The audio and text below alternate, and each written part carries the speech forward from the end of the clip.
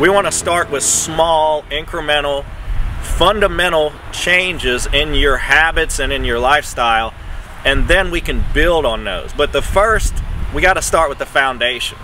And the foundation for any successful person is starting your day early.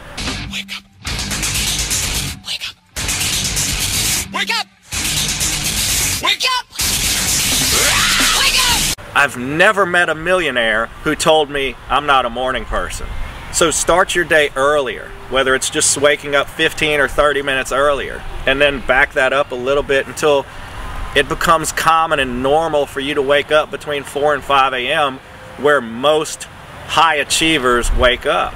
That gives you four extra hours over the average person who wakes up between 8 and 9 a.m.